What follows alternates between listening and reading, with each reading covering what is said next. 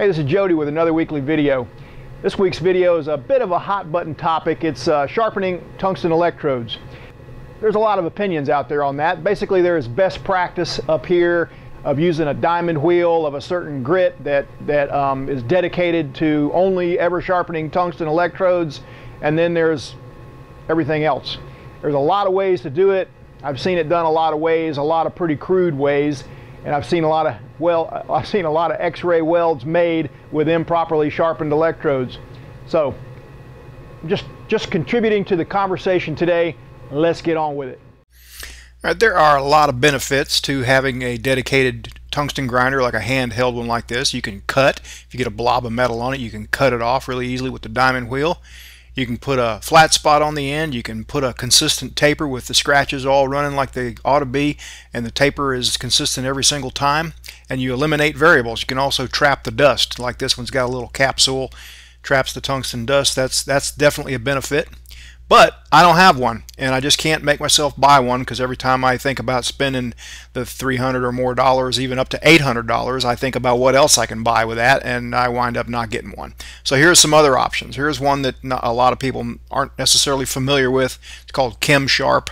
It's a powdered uh, chemical that you dip the electrode in after getting the tip of it red hot and a couple ways to get it red hot. Really the best way is probably just with a little handheld propane torch. You don't have to ground out your machine like this, but you can you can just ground it out, get it hot, and dip it in and out, in and out, in and out, and uh, it will put a taper on there as long and sharp as you want.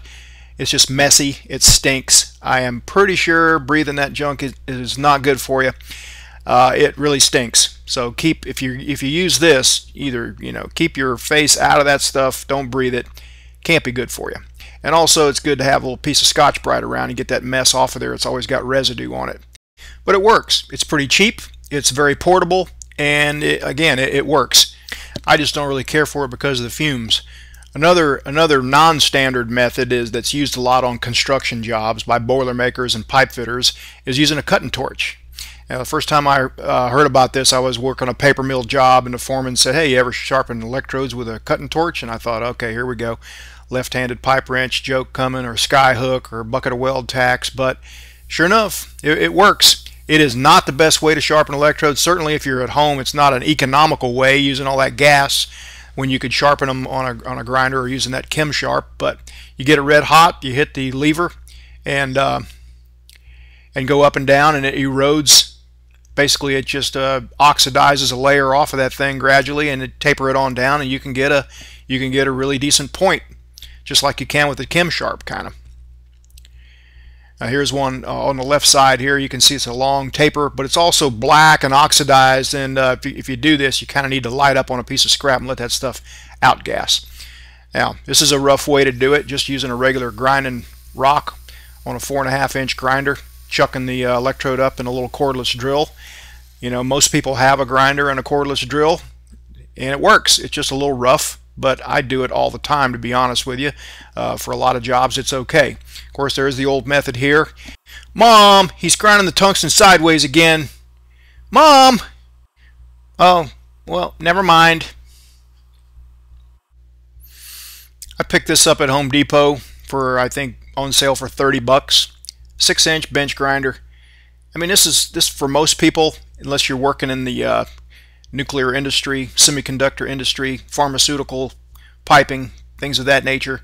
For most for most jobs, this is this will be just fine. There is a risk of embedding aluminum oxide on the tip, but it's been done. This this method has been used for so many years using aluminum oxide wheels. Lots of good welds have been made this way. Another method is uh, just a belt sander of all kinds. This this is one type of belt sander that uh, would work, and that belt has been used for other stuff. But unless you are working on a really critical application, you're probably not going to notice any difference, to be honest with you. Now this will put a nice this will put a nice taper on there. It's about a 100 grit to 120 grit belt and I can put as long a taper or as blunt a taper as I want. Just they're not, not going to be 100% consistent like they would with an electrode grinder. But again, it works. use diamond wheels is this little four-piece set from Harbor Freight. It's got a quarter inch uh, shank uh, arbor on it and I just chucked it up in a, uh, a straight grinder and it's not the safest, not nearly as safe as, as an electrode grinder because it's not encapsulated, doesn't trap the dust and doesn't have a guard on it and everything. But this little wheel works really well for cutting electrodes as well as putting a pretty quick uh, taper on them just hold this with one hand and then the drill with the other. And again it's a little bit cumbersome so it's not my favorite way but it does put a really a really good point on an electrode and it does it really quickly. And you can get the scratches running pretty pretty uh, favorably so that's just just an option uh, like the cheapest way to go diamond wheel. Another way that I've read about on forums that I that I uh, tried here don't really recommend it is just a, a diamond cutting wheel like this on a four and a half inch grinder.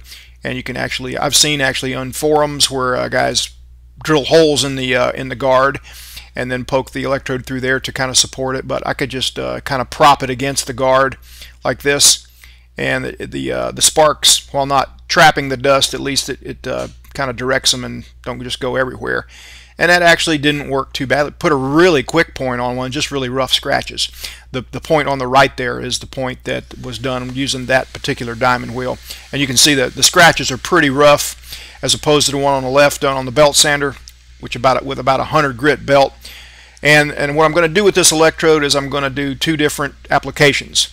The one on the left with the nice needle point, which if I was welding on something very thick or at high amperage, I might flatten off but I'm not. I'm going to actually light up on uh, some razor blade uh, box cutter stuff with this 332nd electrode. This is 332nd 2.4 millimeter and the point here is when would you when would you use a long taper sharp one like that versus a less uh, sharpened one, a blunt one like this, and what would be a good application for each. So that's what we're about to do.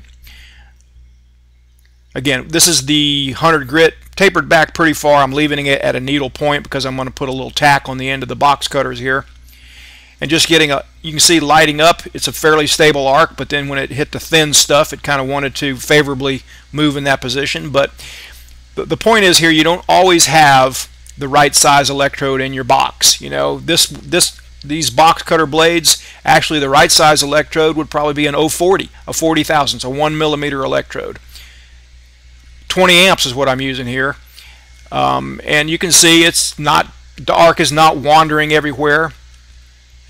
It didn't wander everywhere even to get a tack on the end. And it's a 332nd electrode. Now there are guys that'll use a 1 8 electrode for almost everything. They'll just sharpen it uh, a lot a lot sharper for, for light amperage, thin stuff like this. And uh, that's what's in their box and that's what they use. It's not the best practice, not the best thing to do, but it, it works in a pinch. So here's another application. This is just a bead on a big thick chunk of metal that's not cleaned very well. And you can see the rough rough scratches that aren't running perfectly longitudinally. But at 135 amps, you're not going to get much arc wandering uh, no matter how you put the scratches.